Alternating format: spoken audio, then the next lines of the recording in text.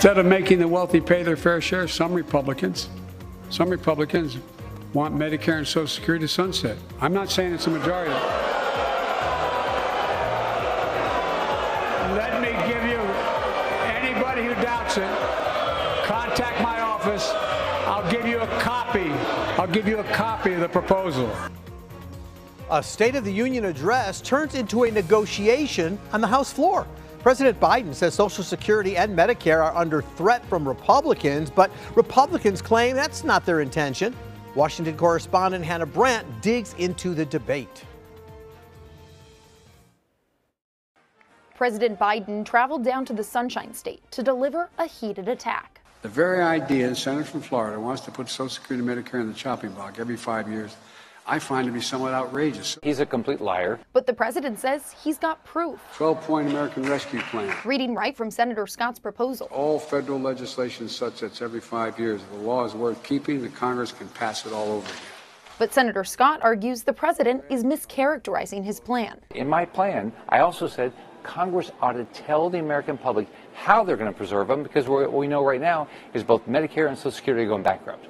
Senator Scott tells me the goal of his proposal is to protect essential programs like Social Security and Medicare by forcing Congress to reduce federal spending in other places. If you want to save Medicare and Social Security, which I want to do, get rid of the waste. And Republicans, including Senator Scott, say they won't raise the debt ceiling until Congress agrees to spending cuts. In a responsible manner to balance our budget.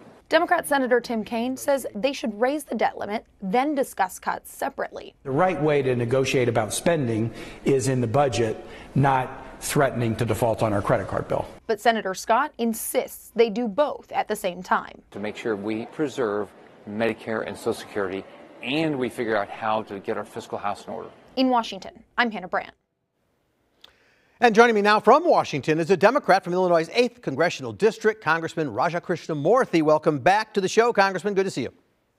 Hey, great to see you, Paul. Thank you. So, the president spent much of his speech talking about the economy, a significant amount where he has a lot of good news to brag about. But there was a lot of talk about, uh, not a lot of talk, I should say, about the border, and that's a focus of Republicans. Is it that the economic message is something the president thinks will resonate better? I think the economic issue is the one that we hear the most about when we talk to constituents. Um, and I think that, you know, tackling the issue of, you know, making sure that we protect, preserve, protect and preserve Social Security and Medicare is top of mind uh, for a lot of Americans right now. The, there was a lot made of the jeers and the booing. And remember the first time it happened when Congressman Joe Wilson yelled out, You lied to President Obama in 2009. And now it just seems to be more of a free for all. I'm just sort of curious does this say anything about the respect that the President of the United States commands and needs to command in front of the House? Yeah, I think that was a total lack of decorum. And I, I was very um, disturbed to see, you know, folks like Marjorie Taylor Greene just yell out and heckle uh, whenever she disagreed. And I think that just um, uh, really kind of coarsens the dialogue and makes it harder to find bipartisan solutions to really challenging uh, problems. On the other hand, I thought that the president handled it very well. I was there in the chamber, and I got to tell you that uh, it seemed like he had parried nicely with them and was able to uh, at least come to a at least a temporary resolution where we all decided we were going to try to preserve and protect Social Security and Medicare, and of course gave a standing ovation for all seniors. Yeah, that wasn't in the script. I noted, and I thought that was that was a pretty slick move. Uh, your guest at the State of the Union was uh, human rights activist Rushan Abbas. Why? That's right. Uh, she is an activist for Uyghurs, um, and she was actually no- nominated for the Nobel Peace Prize last year. Um, her sister is in a prison in the People's Republic of China because of her outspoken criticism of the Chinese Communist Party's persecution of the Uyghur people. And so I brought her uh, because of her um, incredible eloquence and because of her outspokenness with regard to human rights for people everywhere. So we know that the debt ceiling is upon us. Early June is when we actually run out of money in this process. And the president uh, solidified, uh, I think during the State of the Union as well, that upcoming negotiations won't be now about Social Security or Medicare. Republicans are on board with that. Assuming Republicans don't want to cut the military either, if my calculations are right, that leaves about 15% of discretionary spending. Where exactly are the cuts going to come from?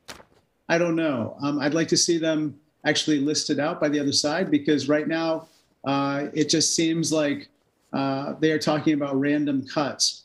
Um, but with regard to the debt ceiling, that's a very serious issue, Paul, which you already know about. Um, raising the debt ceiling enables the US government to pay past bills that have already been incurred.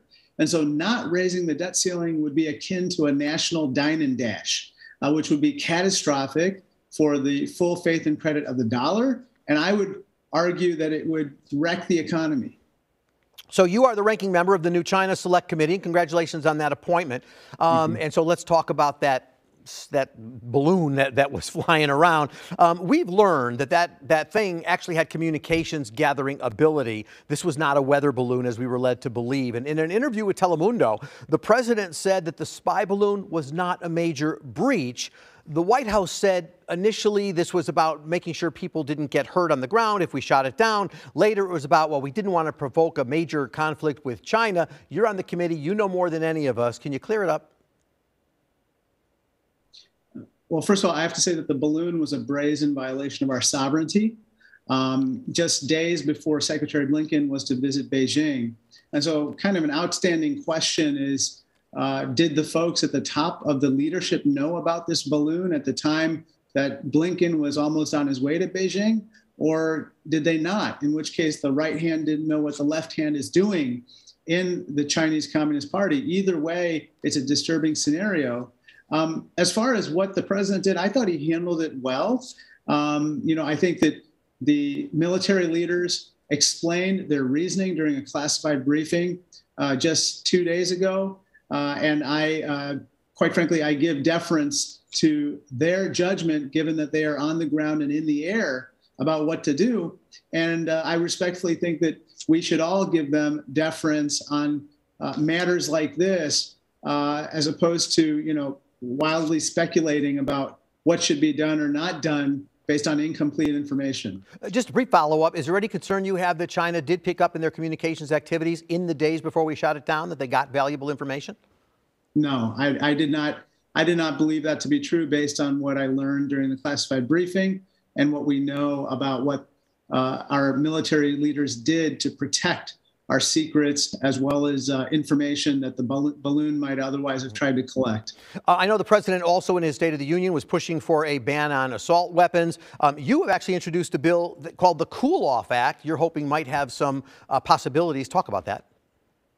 Yeah, basically what it does is it requires a, um, a brief um, kind of pause, uh, a cool off period uh, between the time someone purchases a gun and the time that they receive it in order to basically cool off crimes of passion and even thoughts of suicide. It's been shown uh, by a study by the Harvard Business School to uh, dramatically reduce suicides and homicides by double digits.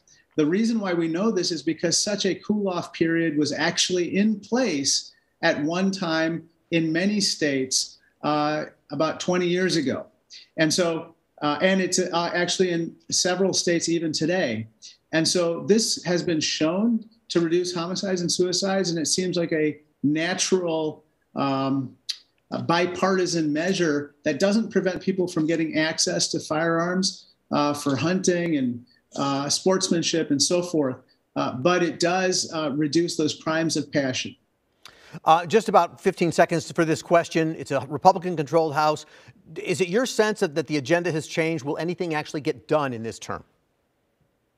Um, I, I, think things have to get done, Paul, whether it's reauthorizing the FAA, uh, funding the government, or raising the debt ceiling. Those are vital functions that we must get done. As far as beyond that, I think that we will have measures with regard to the Chinese Communist Party, whether it's through my committee or otherwise, that we can do on a bipartisan basis. And then, of course, as I've told you on programs before when I've been with you, uh, one of my passions in, in Congress is workforce development, skills based education, more resources for apprenticeships, and so forth. I think that's another area where, uh, especially in this tight labor market, um, I think that Republicans and Democrats can come together and um, do something positive. Congressman Raja Krishnamoorthi, thank you so much for your time as always, sir. Enjoy the rest of your weekend. Thank you so much. All right, coming up next, turning to the race for mayor. What incumbent Lori Lightfoot says about her relationship with city council as several aldermen endorse her opponents. Stay with us.